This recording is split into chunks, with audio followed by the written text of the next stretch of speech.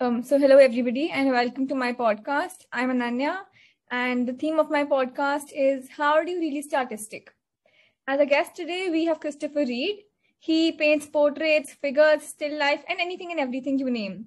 He also enjoys the act of creation and hopes to help people to learn to appreciate all the beauty that is around them present. And welcome, Christopher. It's lovely having you on. Anything you Pleasure have? to be on. Great. So I have a couple of questions for you, and it will be an honor to have you answer them. So let's begin. Um, so the first question I had was, how and when did you really know that art was your calling? That you wanted to have a career in art? So when I was a, a little kid, probably about seven years old, um, I had a teacher and another student tell me I could never be an artist because I wasn't born with talent. So I took that as a challenge. So I started learning to draw by myself, um, studying art history books, just doing drawings from magazines, and then drawing other students in class when they weren't looking, and drawing the teacher. And then when they had a school art contest, I won. So I felt like I'd kind of proved my point that I could learn to do anything. Um, because some some people have this notion that you're either born able to draw or not, and it's it's just not true. If you want to learn to do something and you work hard at it, you can learn it. And art is no different than reading or writing. Um, you know, you can you can learn it with practice. So I found that even after I'd kind of proven my point, I enjoyed doing it because as you get better at something, you you tend to enjoy it more. Certainly. So I would sit in class and just draw and sketch all the time. And I, then I started sketching comic book characters. And so in high school, I wanted to work for Marvel. And then uh, early college, I wanted to work for Pixar. And so I, I did that, uh, you know, the college, computer animation, all of that, was prepared to go work for Pixar and then changed my mind and did something for graphic design that made more money. I ran an advertising firm. And then I realized years later that it wasn't the money that I cared about, but that the only part that I really liked was when I got to sketch ideas for clients. So it was the drawing. So I decided that I was willing to give up the, the greater income for something that would make me happier. And so now it's been, I don't know, 20 some years. Uh, I've been painting professionally and I don't regret it at all. I love it.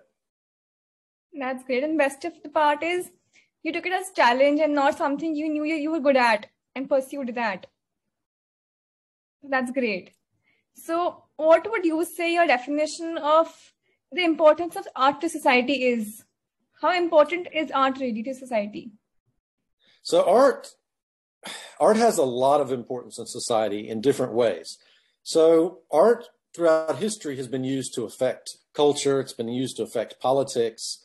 Um, I'm not really a political painter, um, but art can be used to help people appreciate the environment, endangered species, uh, socioeconomic problems, um, to understand different cultures better. And it's a language that you can use no matter where you are. So if you see a painting done by somebody like I'm in South Africa and you're in India, if you see a painting in Africa, you communicate with that person. You can understand what that painting is saying without any language, without any religion, without any culture. And so it, bridges a lot of gaps and it can bring people together. Um, but the other thing is, you know, in, in very primitive society, all of your efforts are spent just surviving, you know, just making enough food and staying safe. A society really develops when you get past that. And what you do with your free time at that point really says something about your society. You know, are you going to spend that free time uh, developing weapons of war to go against other countries, or are you going to spend that that time creating something that adds beauty to the world? And I think throughout history, even if we look at the most primitive tribes in like Papua New Guinea, um, you'll see that as they become a little more advanced, they have time to do something and they, they start to put more effort into anything that they do as far as aesthetics to make it look better, whether it's carving a drum or, uh, you know, just decorating things. And so art has been not only a form of expression, throughout history, but it's also a way of of just making our world a little more beautiful, adding something to it. That's also a beautiful thing. You've just like, I mean, yes. So, I mean, for me personally, also, I believe art actually started as a something I used to do in my free time and my leisure time. I was bored. I picked up a paintbrush and I started painting, and it gave me happiness. It almost took me out of the stress and the school pressure or whatever you could call it out of it. It was great. So, and then are you really versatile in your um, mediums of art if you like to work with, or do you have any particular medium you love to work with? So, if that, that's kind of like asking somebody, um, would you eat just one kind of food for the rest of your life? Right. So, um, what's your favorite dish? I don't know. I'm a very indecisive person. I mean, to be very honest. Okay. So, um, let's say that tikka masala was your favorite dish, right? You yeah. wouldn't want to just eat that every single meal for the rest of your life. That's correct. And there may be people that say, "Oh, if you eat that that same thing, if you do the same thing over and over again, it's it's easier to recognize, oh, you're the person that eats the tikka masala." And you get this from some art galleries where they say, we wish you would paint the same thing in the same medium. But as an artist, it's it's about having fun. It's about expressing myself. And you know, sometimes you want to speak quietly. Sometimes you want to speak at a regular voice, and sometimes you want to get loud. And so you, you have different mediums. Um, I work in pastel, acrylic, watercolor, and I also do graphite and charcoal. Um, but I'm so in love with color that I, I haven't done much graphite and charcoal in a long time. But there are things that each medium does well and things that it doesn't do well. So, for instance, I like to work really large in pastel, uh, medium in acrylic, and smaller in watercolor. And, you know, I, I do occasionally do a large watercolor or a small pastel, but I, I tend to look at the subject. And if it's a really dark, broody subject, it tends to work better in acrylic. If it's got lots of soft edges, I'd prefer pastel. Um, and then there's there's wet into wet effects and glazing effects that I get in watercolor that you can't get in any other medium. So I really kind of look at the subject and decide what it's asking for. And I think too often we try to force the subject into what's easiest for us or what we're most most familiar with, instead of trying to communicate what we see in that subject. So yes, I switch media all the time. And right now I'm working on a watercolor. Um, I've got a commission to do an acrylic right after this. I've got paintings all over the walls in pastel and acrylic and, and watercolor. So I, I don't think that the medium defines you as an artist. I think that, you know, the way that you paint and the subjects that you choose and how you communicate with your art is what defines you.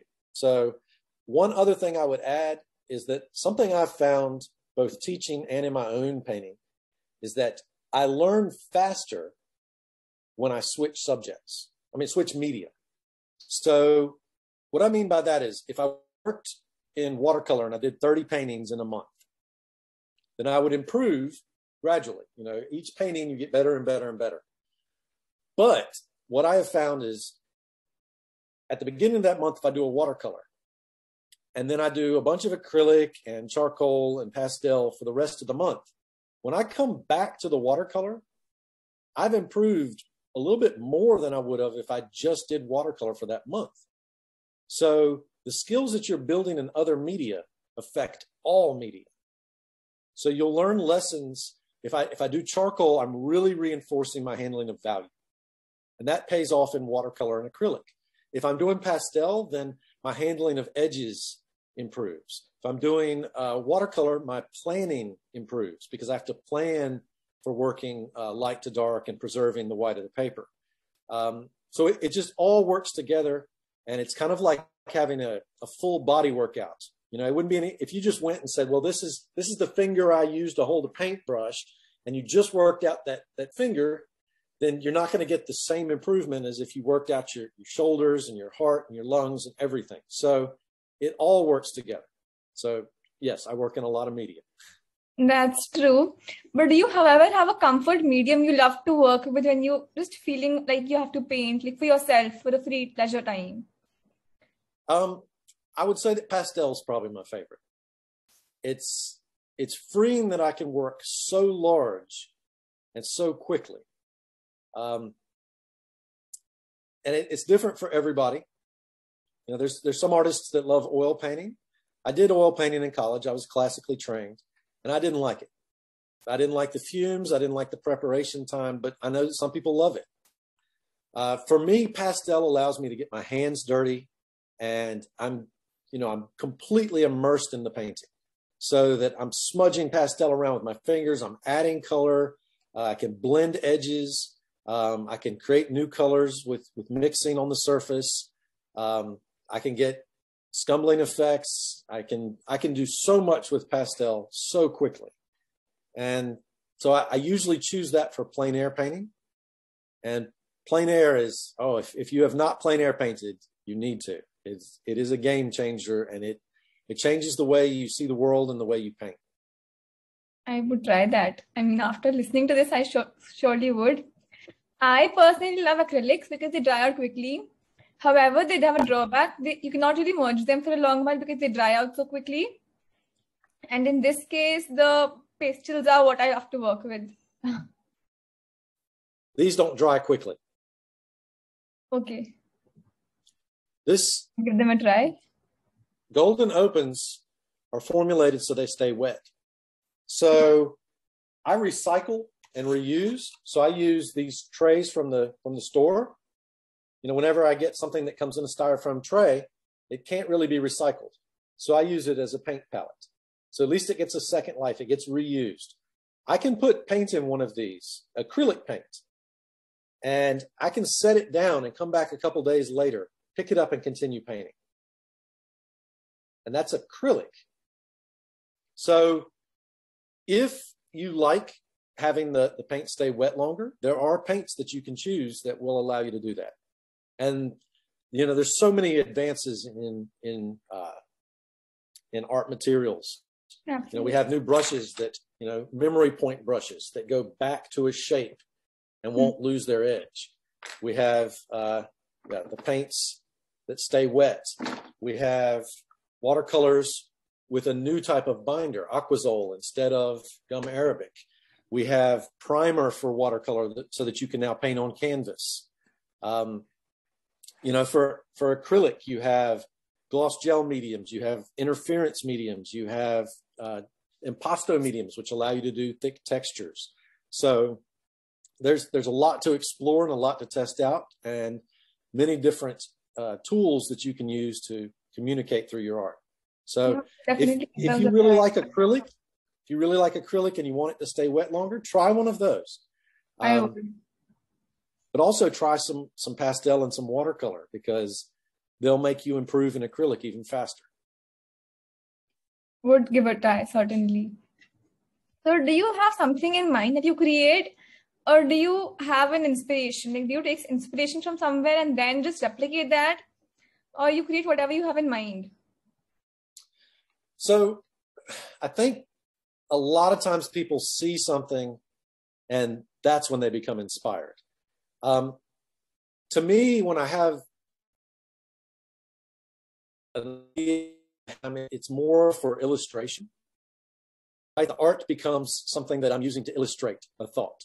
Whereas when I see something, like if I'm out plein air painting, the light catches a, a tree the certain way or the, the side of a rock, and instantly it becomes something that makes me want to paint it. So it's kind of like the visual comes before the mental. And the mental just helps me figure out how to take what it is that I like about what I'm seeing and communicate that to the viewer because really that's that's what art is to me it's I see something and I want to share it with somebody else so um, I do generally when I get ready to paint something I see something and I think I want to paint that and then I start to think about why do I want to paint it and this is a step that I think a lot of artists miss out on. They're more worried about uh, how many likes they're going to get on it on social media or, or something like that, or is this going to sell?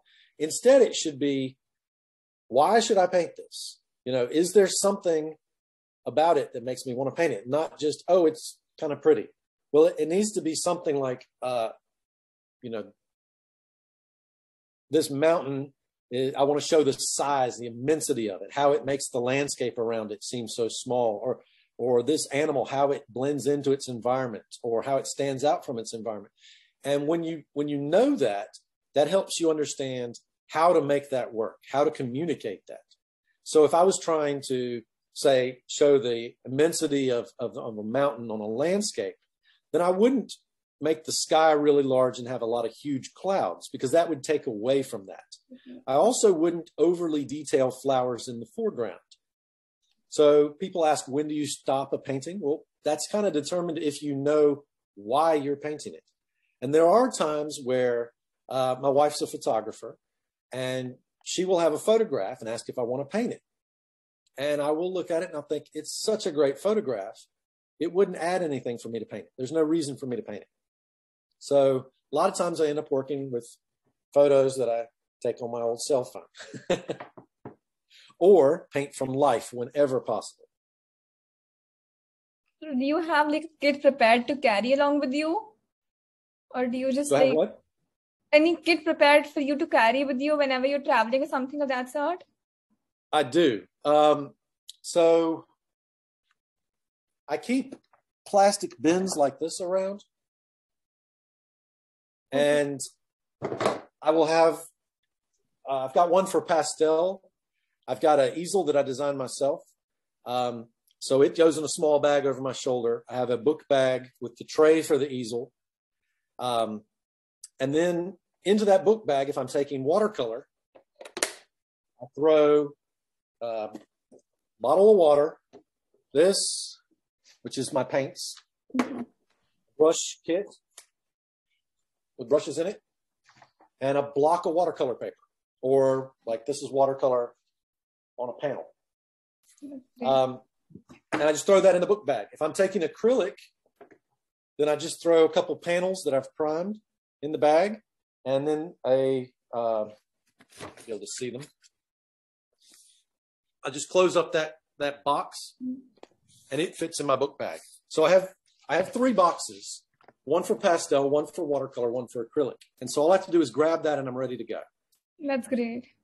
So have you have an experience where you looked at something and thought, "Oh, this would have looked better in watercolors," while you had an acrylic box with you?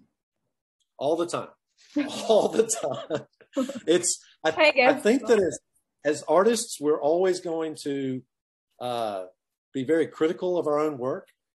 And I find that as soon as I start a painting, I have to be careful because I want to, I get excited about the next painting already. So I have to stay focused on what I'm working on. But there's always that critique at the ends where you look at it and you really should see things that you could improve every single time. It's not something to be upset about and think, oh, I didn't get it right. No, it's something to be excited about. There's always room to improve. There's another adventure waiting. So, yes, I finish a painting and I think, God, I should have brought acrylic today, but I brought watercolor. And the thing is, I improve and I, I get better and better at all media. And I grow as an artist by challenging myself. So it's not about picking the, the medium that's going to be easiest. So a lot of times, if I'm going out plein air painting, yes, I, I take either one medium or the other. I don't take all three. So I'm kind of trapped into like if I take pastel and I get somewhere and it's a rainy day, then I'm kind of limited. I have to get under shelter because I can't let the pastel get wet. Whereas with acrylic, I, I can let some water get on it. It won't really hurt it. Mm-hmm. Yeah, absolutely. But but it, it just varies. At the end of a painting, you're not the same artist as you were when you started the painting.